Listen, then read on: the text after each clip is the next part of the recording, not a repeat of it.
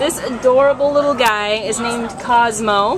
His ID number is A4867575. Uh, Cosmo is a three-year-old neutered male black and white terrier mix. And he came to the Baldwin Park Animal Care Center as a stray from Baldwin Park on August 17th. Uh, Cosmo weighs about 11 pounds, um, and he seems very puppy-like to me. Um, still uh, has got that kind of puppy body, um, puppy personality.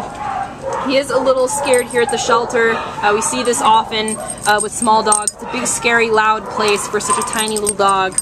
Um, but he's still quite friendly. Um, he just needs a little bit of time to feel a little bit more safe. Um, he's already started opening up a lot more since our volunteers have taken him out. Uh, he just really needs that affection. He, he needs uh, some TLC, some cuddling, um, and I'm sure when he's adopted or rescued, he's just going to open up completely.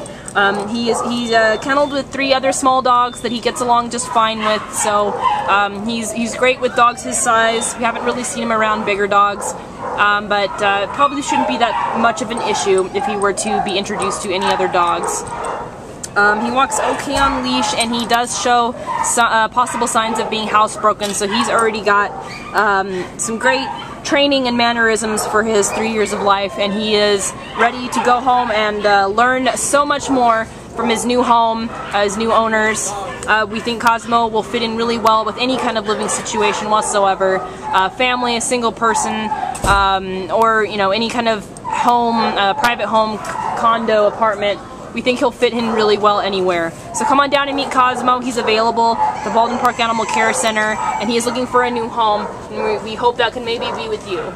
See you later, Cosmo!